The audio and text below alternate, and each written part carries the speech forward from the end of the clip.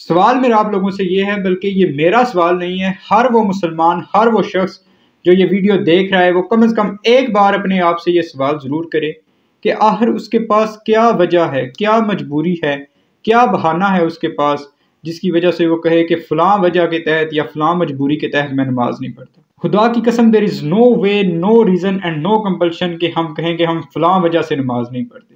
हमारे पास ऐसा कोई बहाना, कोई वजह और कोई मजबूरी हमारी ऐसी हो ही नहीं सकती कि हम जिसकी वजह से कह दें कि इस वजह से हम नमाज़ नहीं पढ़ते। और यार ज़रा सोचो तो सही कि कायनात का हालक और कायनात का मालक, ये कोई आम बंदा है कोई आम शख्स नहीं, कायनात का मालक और हालक दिन में पाँच मरतबा आपको बुलावा भेजता है कि आओ नमाज़ की तरफ़, आओ फलाह की तरफ़।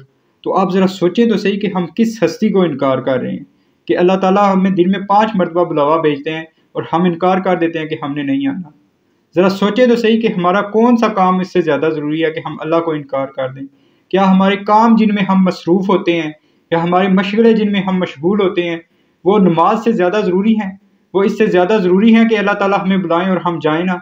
दुनिया का कोई काम, कोई मजबूरी ऐसी नहीं है जिसकी वजह से हम कहें कि ये काम है, इसकी वजह से मैंने नमाज़ छोड़ दिया या इस वजह से मुझे नमाज़ माफ़ हो गई नमाज़ आपको किसी सूरत, किसी हाल में भी नहीं माफ़। अगर नमाज़ किसी सूरत में माफ़ होनी होती तो जंगों के दौरान माफ़ होती। लेकिन नबी अलैहिस्सलाम ने जंगों के दौरान सलात खौफ का अहतमाम किया। सफ़रों में नबी अलैहिस्सलाम ने सवारी पर बैठते हुए नमाज़ का अहतमाम किया।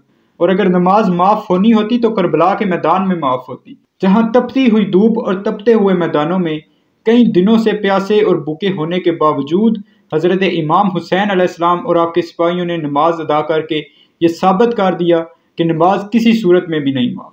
तो हमारे पास ऐसी कौन सी मजबूरी है? हम पे तो कैसी, कोई ऐसी मजबूरी है ही नहीं, कोई ऐसी वजह हमारे ऊपर हो ही नहीं सकती।